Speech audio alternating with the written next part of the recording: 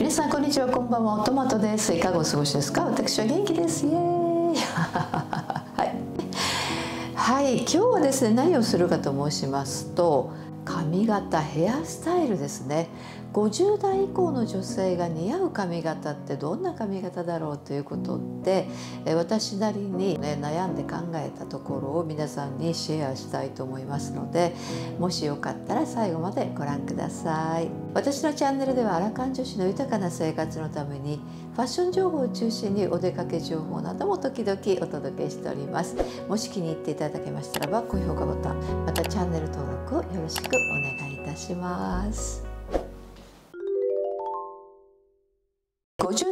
の女性の髪型ということなんですけれども、えその本題に入る前にねお知らせがございます。今私が着ているこのニットえそして下に入っているイレギュラーヘムのマーメイドスカートあら見覚えがあるなと思ってらっしゃる方いらっしゃると思いますがこちら以前にコラボ動画出させていただいた時々さんのブランドのものです。今ですねあの時々さんではマックス20%オフのセールとまたそれとは別にプラスアルファですね。7700円以上お買い上げの方には1000円オフになるっていうディスカウントをやっております。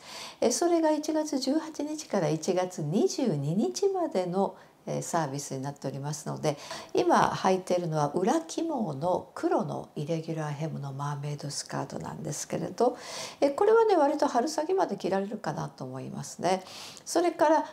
裏起毛ではないパターンのイレギュラーヘムマーメイドスカートもございます、えそして白のドルマンニットなんかもねすごく暖かくておしゃれですから、まあ、私はそういったものを選ばせていただいて、え着させていただいております皆さんもぜひこの機会にですね、えー、トライしてみたいものがないかねお探しになっていただければと思います。はい、50代以降の女性のヘアスタイルっていうテーマなんですけれども、まあ、まずねそのヘアスタイル行く以前に私たち結構このぐらいの年になると髪質とかあのそういったものの変化老化にですね結構悩みが多くなってくると思うんですよね。あの視聴者様からもですねコメントで「髪はどうされてますか?」とか「染めてらっしゃいますか？白髪対策は?」っていうふうに聞かれたりするんですけれども、まあ、私のことについてお話しします。私のあの髪はですねこれはパーマはもう何十年もかけてないですね。そして白髪染めもしておりません。ヘアカラーっていうのをまずね20年以上やってないですね30代の初めぐらいにちょっとねブラウンにしたことあったでしょうか、えー、髪を染めることをしてないんですよね。まあそろそろねいろんなあの工夫してみたいなとは思ってるんですがとにかくね美容室に行くのが大変ですもんね。でカットに関してもたまに美容室で整えてもらうんですけれどもショートカットにして10年以上になりますけど形が崩れてくるので自分でセルフカットをしております。あのあのハサミを持ってね。ハサミで主に、えー、自分でね切っております。顔が大きく見えないようにっていうことで切ってますけれども今センターパーツになってますがいつも斜めで分けてますが生え際が薄くなってきてボリュームが出なくなったっていうことがありまして真ん中で分けたり左で分けたり右で分けたりってね分け目を変えたりえ、まあ、そのうち分け目がない前髪を作るショートヘアにしようかなとも思っております。まあ、まあそんな感じでね人それぞれ悩みがあると思いますけれども今はですねちょっと斜めにするとここがねはあの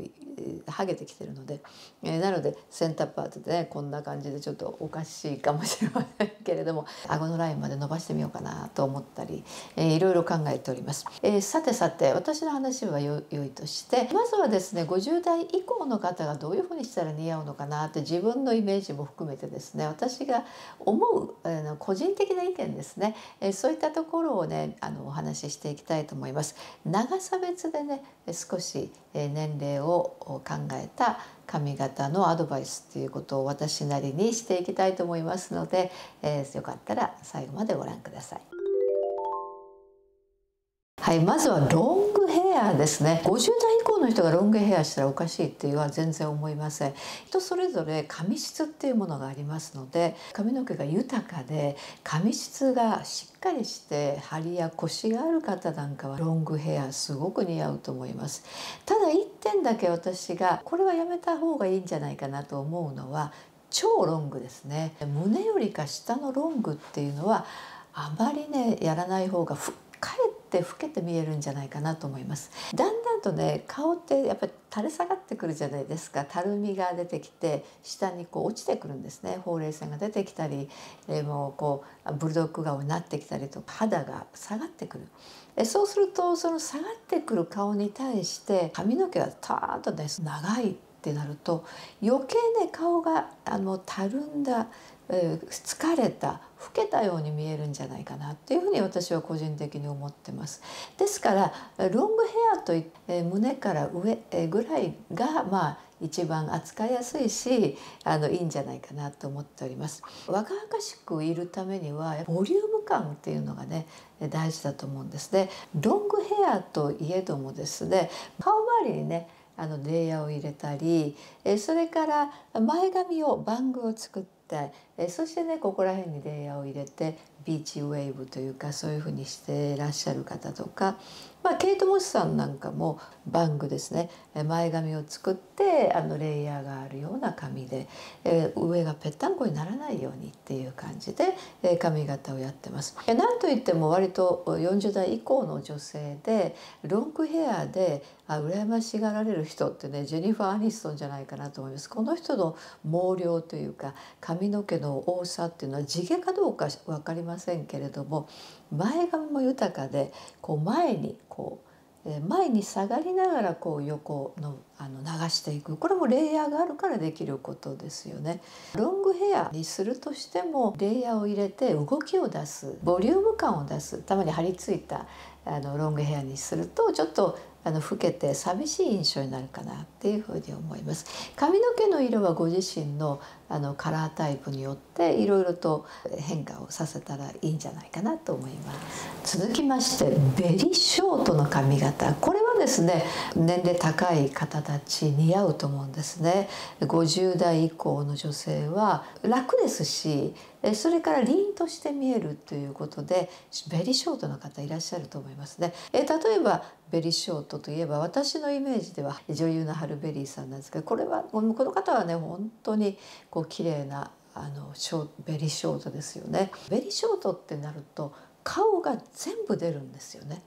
えもう顔っていう感じなんですよね。隠せるところが全くない。えー、まあ一番ね理想はシンメトリー。ですね左右対称のお顔の方それに近いお顔の方ベリーショートとても似合うと思いますそれから顎にこうキュッと締まりがある方ねそれから丸顔の方なんかもあのシンメトリーで丸顔の方なんかもすごい似合うんじゃないかなと思います。グレーヘアの方なんかのねベリーショートなんかもすごく綺麗だと思いますね。まあお顔が全面に見えるのでそれさえあの大丈夫。私は平気。手入れが楽な方がいいわっていう方はですねベリーショートとても似合うと思いますね年齢が高くなればなるほど短い髪っていうのはね結構似合うと思いますただ女性性があまり出せないごまかしが効かないという意味では潔さが必要なのでまあそういったところね挑戦できる人は早い段階で挑戦したらいいと思いますし、えー、私はねいずれは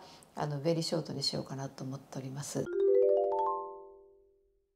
次はですねピクシーカット。まあショート。まあショートヘアです。私はねこの髪型が好きなんですね。どうしてかというとこの下袋な顔ではあの顔が小さく見えるかなっていうふうに感じてるからなんですね。今もくびれショートとかって言って後頭部を丸くしてキュッとね下が短くなってるスタイルで耳をかけたりかけなかったりそして前髪があったり斜め、えー、斜め分けだったりっていう感じでねパーマをかけてふわっとしてたりだいたいペタッとした髪型ではなく割と動きがある髪型ではあります。でアシンメトリーなことが多いですよね。私はまあこのピクシーカットが伸びてきた感じで分け目があの斜めにしたり真ん中にしたりっていうそういう形であの私はイメージしてセルフカットをしています。割と50代以降の女性に多い髪型ではないのかなと思います。短めだと、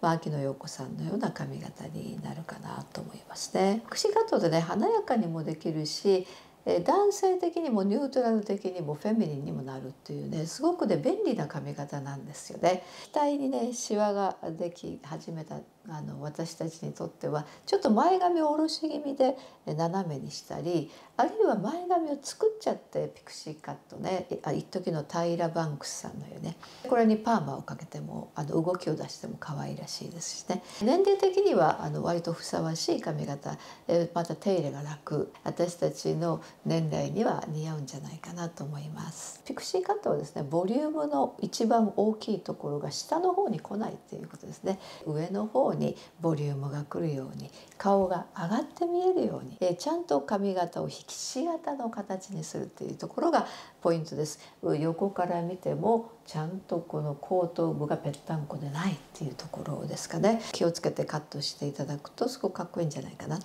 思います、はい、えそれからどんな年齢でもあるいは50代以降の女性でも、え似合うんじゃないかなと思うのはボブのスタイルです。ボブといってもアナ・ウィンターさんみたいにね、え昔ながらのえー、こうパチンとしたボブ典型的な髪型としてあるんですけれどもあれはあれでですねまあ人を選ぶっていう部分もあるかもしれません。まあ、ボブといってもいろんなボブがありますからボブのバリエーション50代以降の女性に非常に似合う髪型なんじゃないかな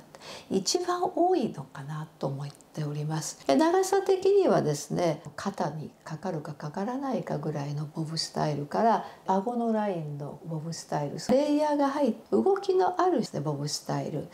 そして前髪を顎のラインか前髪を切って